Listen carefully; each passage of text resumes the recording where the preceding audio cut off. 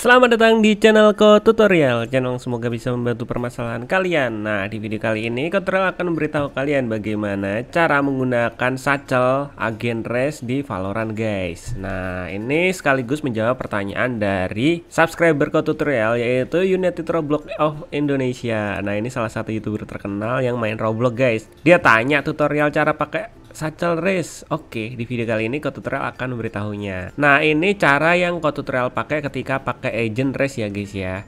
Jadi kalau misalnya ada yang kurang atau ada yang salah-salah mohon dimaafkan soalnya Tutorial juga masih belajar pakai agent race. Oke langsung aja cara yang pertama guys cara yang pertama kalian harus klik tombol subscribe yang warnanya merah yang ada di bawah video ini guys Nah setelah itu kalian buka Valorant kalian guys. Nah, di sini Control akan memberikan contohnya di the range atau tempat untuk latihan tembak. Nah, di sini kita langsung aja pakai agent race. Dan di sini kalian bisa lihat di bawah itu ada ability-ability-nya atau skill-skillnya. Nah, yang dimaksud satchel itu yang Q guys, yang skill yang Q. Jadi kalau kita lempar satchelnya kayak gini itu akan menimbulkan ledakan. Nah, ledakan itu fungsinya untuk membuat lompatan ya guys ya. Lompatan pada agent kita atau agent lawan. Nah biasanya difungsikan untuk loncat. Kalau kita berdiri di atasnya ketika meledak kita akan otomatis loncat guys. Kayak gitu guys. Nah jadi uh, untuk menggunakan satchel sih sebenarnya mudah ya. Tapi kalau belum tahu ya agak susah. Yang pertama-tama kalian harus belajar itu kalian harus belajar nempatin satchelnya nah untuk nempatin satchelnya itu kalian belajar dari dasar dulu. Jika kalian pencet Q satu kali, itu kan akan uh, menaruh satchelnya. Tapi jika kalian pencet Q dua kali, akan otomatis langsung meledak. Misalnya kita lempar, kemudian kita pencet Q lagi. Jadi nggak usah nunggu satchelnya meledak. Kalau kita lempar lalu kita pencet Q lagi, akan otomatis meledak. Nah, contoh lagi. Jadi kalau kita langsung pencet dua kali itu nggak usah nunggu bunyi tititnya cepet gitu. Titit titit titit itu nggak usah. Jadi kita langsung lempar langsung pencet Q lagi otomatis nanti akan meledak sendiri. Nah kayak gini. Nah kayak gitu guys. Nah sekarang kita belajar cara loncat di atasnya. Nah untuk loncat di atasnya kalian tinggal taruh aja di bagian yang ingin kalian loncatin misalnya di sini. Setelah itu kalian berdiri di atasnya sambil loncat-loncat. Setelah itu nunggu sampai meledak.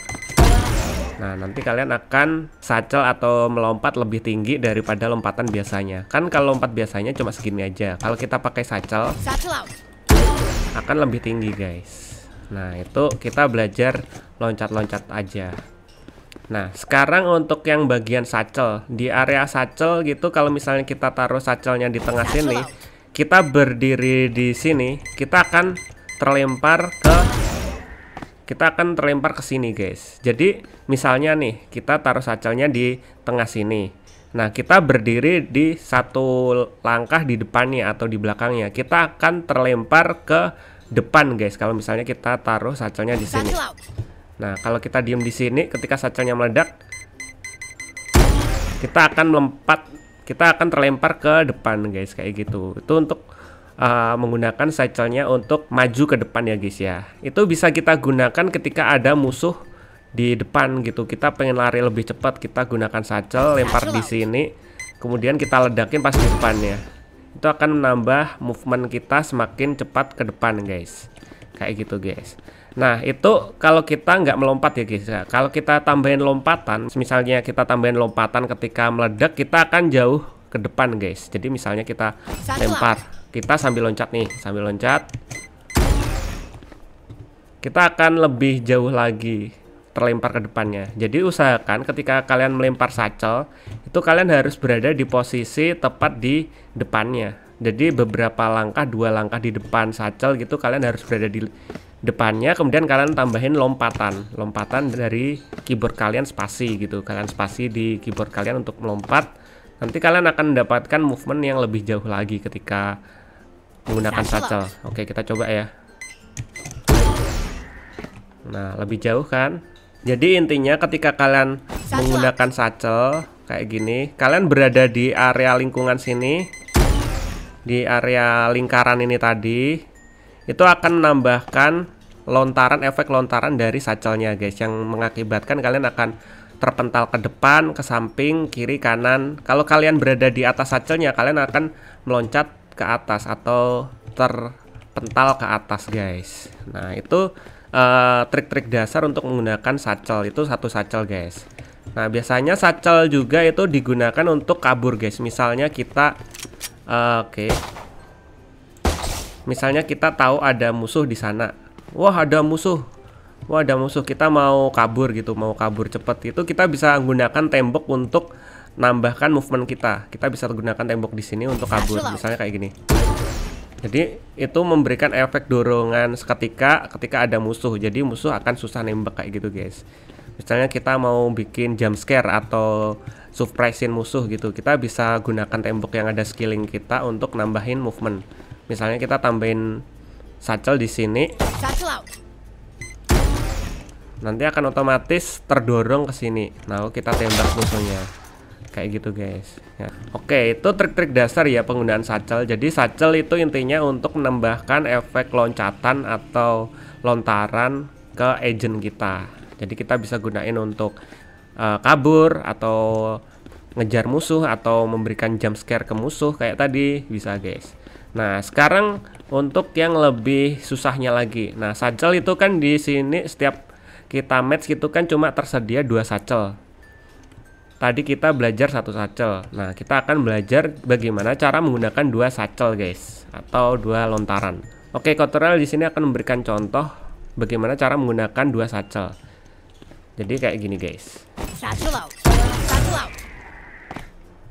Jadi untuk dua satchel itu bisa digunakan untuk uh, kabur secara cepat ke depan ya guys ya. Jadi kita bisa gunakan satchel loncat loncat loncat sampai ke depan dengan cepat. Jadi kita memaksimalkan lontaran yang ada menggunakan dua satchel kita ulangin lagi. Jadi e, caranya sama seperti satchel yang pertama. Cuma bedanya di sini kita harus cepat ketika menekan Q-nya atau e, tombol ability skill-nya nah misalnya kayak gini kita taruh pertama di sini uh, taruh pertama satchelnya di sini. Ketika kita mau loncat, ketika mau mendarat, kita langsung ledakin lagi satchelnya.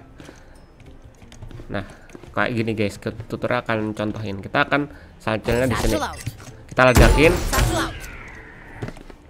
Jadi ketika sebelum kita mendarat gitu kita harus ledakin satchelnya. Meledakkan satchel yang kedua, kalian harus meledakannya langsung. Gimana ya? Jadi jangan tunggu sampai satchelnya itu meledak. Jadi kita langsung tombol dua kali. Misalnya ini kita tunggu sampai meledak nih. Kita harus udah ngelempar, ngelempar lalu meledakkan untuk maju lebih cepat. Misalnya kayak gini. Nah, jadi yang kedua langsung kalian ledakin. Semisal kalian nggak ledakin di satchel yang kedua, itu nggak akan bisa jauh guys satchel kalian. Misalnya kita kayak gini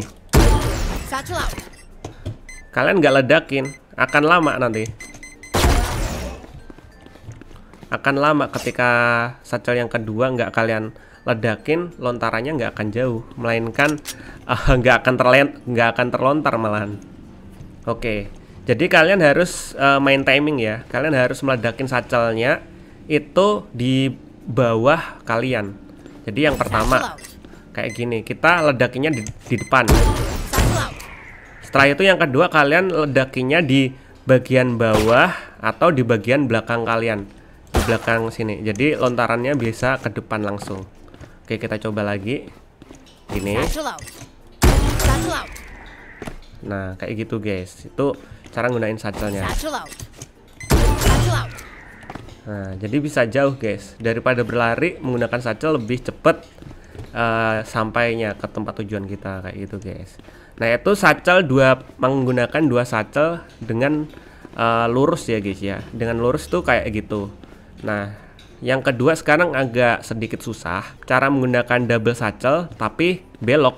Jadi misalnya kita agent kita ada di sini, musuhnya ada di sana. Nah bagaimana cara kita memberikan surprise atau jump scare ke musuh kita menggunakan satchel atau double satchel?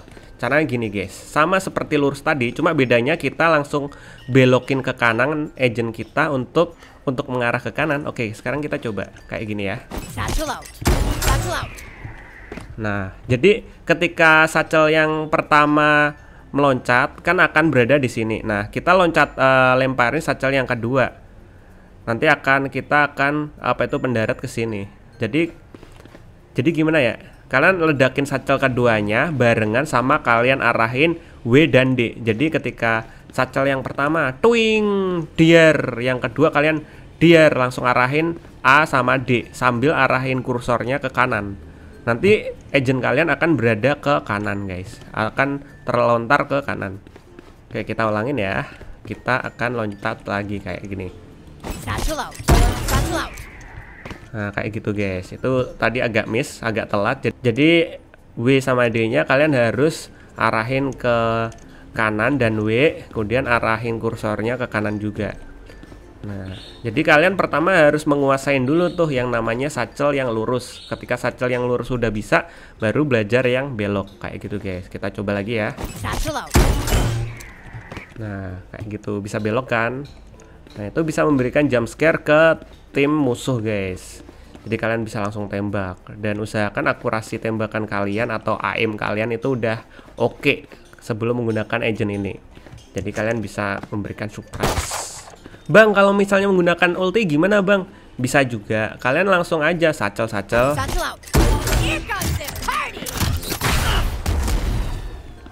Terusan kalian gunain ulti kalian Jadi kalian bisa kombinasiin sacel, ulti, sacel Atau ulti, sacel, sacel Misalnya ulti duluan, habis itu sacel Itu juga bisa Jadi kalian tinggal kreasiin sendiri Kalian menggunakan sacel kayak gimana menggunakan satchel untuk naik ke atas tembok sini juga bisa. Kalian tinggal belajar-belajar ya. Weh, kebelebelasan. Untuk naik ke atas tembok juga bisa, guys.